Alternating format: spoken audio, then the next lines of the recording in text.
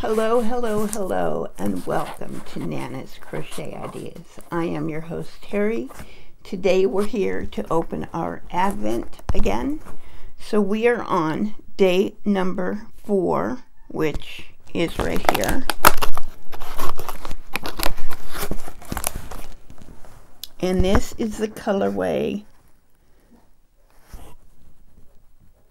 kosher, kosher, kosher Pretty, very pretty, very pretty, pretty, pretty. So this, um, yeah, so there we have it, day four. One, two, three, and four.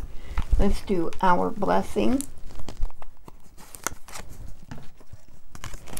And it says, You are more precious than gold.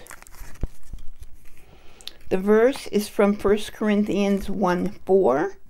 I always thank my God for you.